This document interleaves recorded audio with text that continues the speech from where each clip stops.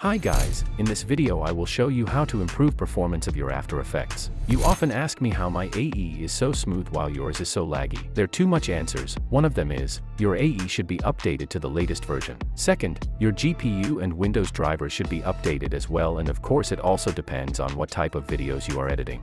To record tutorials on YouTube, I edit in 1080p and that's why my AE is always looks smooth. But, when I edit for example a cinematic video or it's a client's video, for sure I edit in 4K and my PC starts lagging too. Don't worry if your monster PC lags too much while you edit in 4K, it's normal. Now let me show you my settings in AE.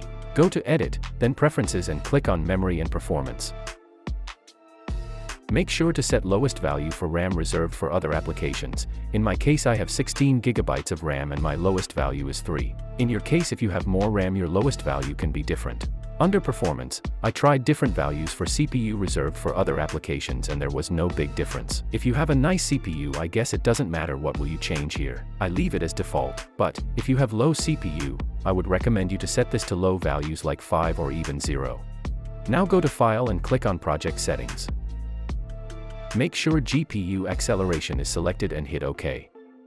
And lastly what I would recommend to do is, once you open your AE, go to Edit, then Purge and click on All Cache and hit OK. Do this every time you begin editing and even while you edit videos. There is no other solution that could improve your AE performance. If your PC can't handle it, don't try to copy kids on YouTube that show some useless tutorials about it and don't kill your PC. Nothing can't improve AE performance if your PC don't want it.